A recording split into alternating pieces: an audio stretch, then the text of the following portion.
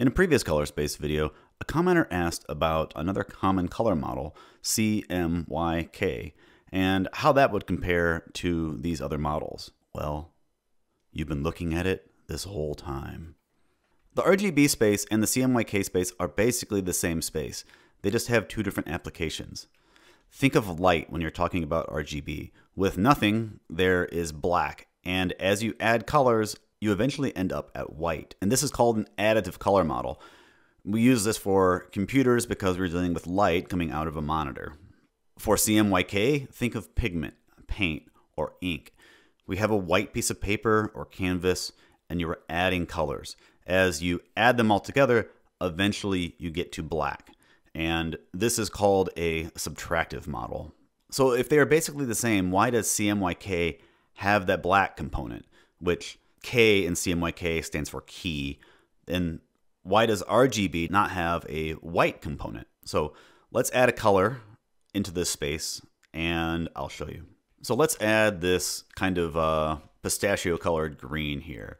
And now to get to this color from white in CMYK, we're going to add one, two, three, four, five, six units of cyan color. We're going to go down two units of magenta and then we need one, two, three, four units of yellow. Yellow would, would bring us here. And I should say that this is CMY, not CMYK. To achieve this color without using black in a CMY space, we need six cyan, two magenta, and four yellow units of paint, pigment, whatever you are actually using for color. And so with CMY, we end up using a total of 12 units of volume of pigment or ink whatever. And, but if you are printing, then like you have to have this much ink on your paper and that gets it wet. It takes time to dry. It can smear. You want to use less material and also you have to pay for this stuff. And so if you can get away with using a smaller amount of ink, that will save you money. And so for each set of these three colors that are the same, we can remove one of these and add a black component. Do the same thing for here, and then this is CMYK. We actually end up not having, not needing any magenta.